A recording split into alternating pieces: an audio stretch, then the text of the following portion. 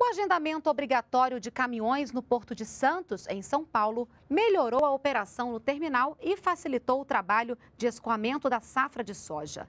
Esse foi um dos destaques de hoje do programa Bom Dia Ministro, que recebeu Antônio Henrique Pinheiro, da Secretaria de Portos.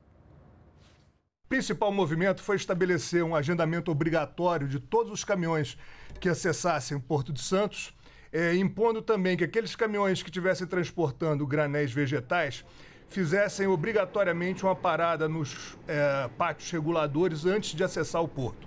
Com isso, a gente pôde fazer um controle muito mais aprimorado do tráfego, evitando aqueles engarrafamentos que aconteceram em 2012 e 2013.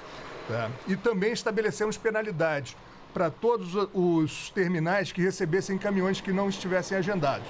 Com isso, a gente conseguiu uma maior organização, um melhor fluxo e, obviamente, com muito trabalho, conseguimos que os municípios da Baixada Santista tivessem um impacto menor nessa safra de 2014 na soja. Esse esforço será continuado, ele não interrompe depois que a, a, o embarque da soja está acabando é, nesse mês. Mas esse trabalho não vai ser interrompido, porque agora vem açúcar, depois vem milho, então ele vai ser um trabalho continuado.